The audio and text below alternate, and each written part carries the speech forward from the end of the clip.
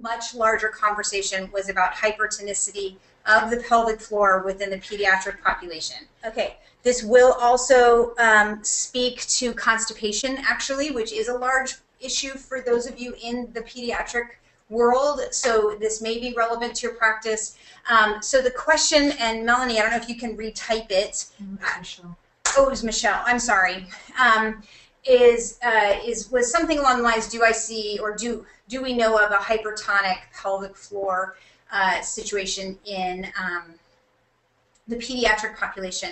Um, let me just say that I doubt that we have any really really concrete evidence in that regard because of the the inability to do internal exams um, as a research tool with um, with pediatric patients. That's that people are reluctant to do that. Not that there isn't uh, meaning or there isn't reason to do that in some cases, um, but generally speaking, again, you guys know this. It's hard to do pediatric patient uh, pediatric research. So I'm going to be speaking theoretically um, about this, and uh, but understand we have to.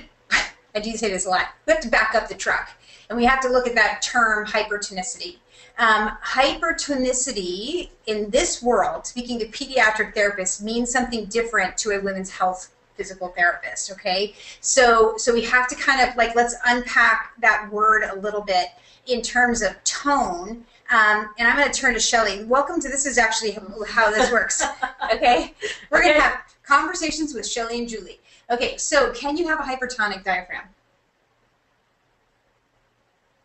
Well, I don't see why not. Right. As, as So let's we're talking about this in terms of pediatric tone, spasticity, right? but whenever you have an opportunity for neurological input, you have the opportunity for the possibility of increased uh, neurological activity feeding the diaphragm. Right. Um, so yes, it's it's hypothetically possible. Right. Absolutely. So theoretically, you could potentially also have that kind of tone, maybe in um, the the pelvic floor. But then I don't know. Could you also have tone in the detrusor, which is the bladder muscle? We see overactive bladder. So again, I know that that question, I'm guessing, was not related to pediatric spasticity, neurological type tone. Right. but um, but I am um, but I am trying to begin to work with um, folks in the neurological community. Um, I, so, a little something fell off the radar when I went on a, my hiatus in terms of working with folks that are doing muscul- uh, multiple sclerosis type um, research. Okay, so so I'm not sure what exactly that means in terms of tone and spasticity, like that kind of an issue. Um, and again, I don't know how much information we have about that. There's so many things to research, and people are just starting to explore all of these kinds of topics with um, our pelvic floor and with continence. Um, I think we're finally allowing it to not be so shameful and just recognize that this affects a lot of people and a lot of populations. The problem with things like a neurological problem like MS or Parkinson's or any of those things is that continence is kind of like the last thing. Like you have so many other things to deal with. Same with you guys in your kind of in your world. Continence isn't always at the forefront, right? So, um, but it's but it's but when we understand continence as a piece of stability and balance and all that kind of stuff, we might see a shift in that, and I hope so. I hope that conversations like this will help us start to think that way. And as clinicians, we are in charge of, of giving researchers stuff to, to, investigate. So, so these are great questions. Now, so that I'm going to leave that piece, but I'm going to link it to a women's health understanding of hypertonicity. Okay? The, this is what an after party is like with Shelley and Julie. Okay, is is that one of the things that Shelley talked about with when she talked about tone and spasticity was what is true spasticity? What is stiffness that comes alongside that? And then what is that dynamic holding? Okay, so when we move into talking about a hypertonic pelvic floor in the women's health world, um, I think that we we kind of are overusing that terminology. This is me being quite frank, okay? And I've blogged about this, so I, I haven't hidden behind anything in this regard. Is that by saying it's hypertonic, understanding it from the perspective of spasticity and all that kind of stuff, um, I think that that's an overused term. And there's sort of an assumption that's been made in the women's health world, particularly as it relates to athletics and athletes, is that people are, it, what I like to say is they're over recruiting it. Okay, that's to me that's a very different Yes. Idea. Okay, so they're over recruiting it as a stability strategy that's faulty. Okay, and just like we saw when you guys changed your breathing strategy, muscle physiology has said to us you should, it takes six to eight weeks to stretch out a muscle. Okay, you should not have been able to train your change your breathing pattern if that was totally true and that was true muscle stiffness, high tone. Okay, if it was just being over recruited and you change the pattern of recruitment, you're going to relax that situation. Does that make sense? Okay, so so when so we've made a lot of assumptions about that these women are just plain old hypertonic, um, and because they're athletes, and be, and so so understand that I really think of that as over recruitment. That that's a faulty stability strategy, just like breath holding. Okay, just like gripping your abs. Hang on, you're saying something and I'm missing it. Sorry, I'm just saying that it, it's it's it's that that conversation uh, um, up into the frame, uh, that conversation about uh, just being so careful with our language when you use the word hypertonus. I mean that has a, a connotation that there is uh, an increased um, information and, a, and a, a, change in the input neurologically to that muscle from the uh, either damage in the in the motor cortex or somewhere along the way in the central nervous system.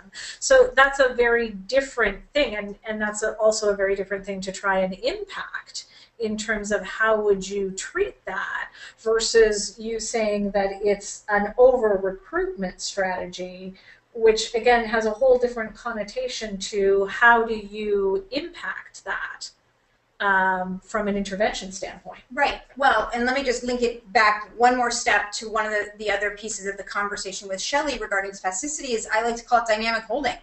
Okay, it is because they don't have a better strategy, that's what they're utilizing. So it really so the question then is, well then how do you intervene?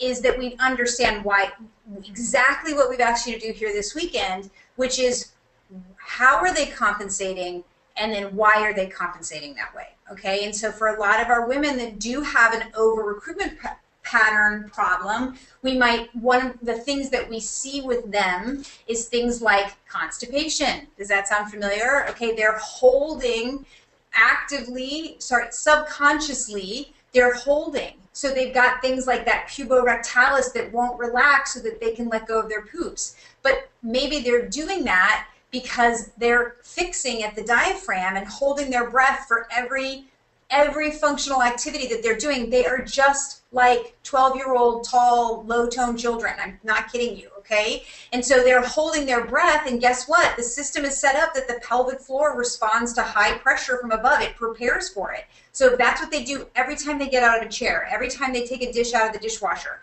every time they pick up a pencil. It's these huge amounts of force that are coming from above. The tummy and the pelvic floor are fighting it. Okay, and so is that the problem? Then we need to change their strategy related to their breathing. And is their breathing, or sorry, their stability strategy take them out of breath holding? And are they breath holding because they're standing in a position that doesn't give them access to the rest of the system? See what I mean? Like you got to really back up the truck. We also understand anxiety is a part of it for a lot of women. We do have a study. I'm sorry, I'm not going to be able to quote that the research. I, I this was in a conversation with a uh, fellow women's health practitioner who treats pelvic pain. But apparently, we have a study that shows that one of the first reactions to a stressful situation for women is to grip their pelvic floor. So if you have someone, so listen, if you have someone who has an anxious state, like maybe the little girl who had ASD that we were looking at, she has an anxious state going on all the time, and she's also constipated. Hmm you know is she breath holding then? Is she doing breaths like this? You know what i mean? And so if we we can nail both of those problems by teaching them umbrella breaths and pistons because what we're asking them to do is take an, an a parasympathetic um, a breath that enhances the parasympathetic system calming down the anxiety but we're also asking them to inhale and lower that pelvic floor before they create any challenge on top of it Okay, so we're actually asking them to, we don't ask our patients to start from a already contracted position and then make it more and more and more more over recruited. We actually make them always start from an inhale so that and we try to teach them control. I'm not asking you i'm asking you right now to stand up against gravity. You should not have to grip your abs to stand up against gravity that's what i tell my patients all the time if i am asking you to pick up your teaching partner and carry her limp exhausted body back into your house you better believe I want those beans up and you got to use that pelvic floor big, okay? But if you're just standing around, we should not have to grip our abs to pull that off. And guess what? The pelvic floor is going to fight that. So, so again, these this is such a big conversation, um, but I think we have we have a lot of ideas that we need to sort of flesh out with, you know, we need to not look at one piece of this puzzle. We have to see the whole puzzle and begin to use our clinical decision making in order to help us start to suss out where do we begin. I'm telling you, I just begin at the same spot. I always go back to the center. I always go back to alignment and breathing. Okay, just always take them back there, start there, and then start to build on it. Okay, um, so I think uh, that is. Uh, I hope that answered that question. Um, but in, in terms of your population, constipation is a big deal, and I'm telling you, this is a great strategy to help them start to relax. You can hum on the potty, you can relax them on the potty, take your time, take some really deep breaths, change up their GI motility throughout their day, and, and you're going to start to impact that. And guess what? Constipation in pediatrics is a huge part of continence issues in pediatrics, okay? It's a part of adult too, but adults seem to know how better to handle.